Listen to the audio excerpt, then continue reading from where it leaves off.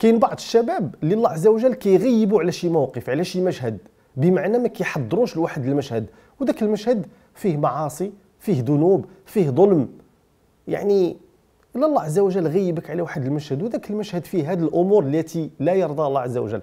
خصك تفرح أن الله عز وجل بعدك على ذاك الموقف بعدك على ذاك المشهد. لكن اش كتلقاه؟ وكون غير حضرت البارح كون غير كنت أنا معاهم أودي شوف مادام الله عز وجل بعدك على هذا المشهد؟ هذا أمر جد مهم. اسمع النبي عليه الصلاة والسلام ماذا يقول؟ يقول عليه الصلاة والسلام إذا عملت الخطيئة في الأرض كان من شهدها فكرهها وقال مرة أنكرها كمن غاب عنها ومن غاب عنها فرضيها كمن شهدها. بمعنى إلى الله عز وجل غيبك على واحد الموقف. وذاك الموقف كما قلنا فيه معاصي فيه ذنوب فيه فساد فيه ظلم. والله عز وجل غيبك على ذاك الموقف وانت بديتي كتمنى كأنك حضرتي كأنك كنتي معاهم.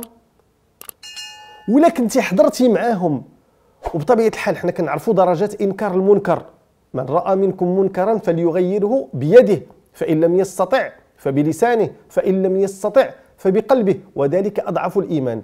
بعض المرات إلا حضرك الله عز وجل شي موقف شي مشهد أقل شيء أقل شيء ما قدرتيش دير تكره ذلك المشهد بقلبك. لكن الله عز وجل كيغيبك على واحد الموقف وكتلقى الشباب كيقول لك البارح كون غير كنت حاضر معاهم والبارح دوزوا واحد الليلة والبارح نشطوا واحد النشاط أو ما دام الله عز وجل بعدك على ذاك الموقف هذا دليل على أن الله عز وجل كيبغيك. هادشي علاش ما حضركش ذاك الموقف؟ فما تتمناش شي حاجة كانت فيها الفساد شي حاجة كان فيها الظلم تكون حضرتي لها إذا تذكر حديث النبي عليه الصلاة والسلام إذا عملت الخطيئة في الأرض.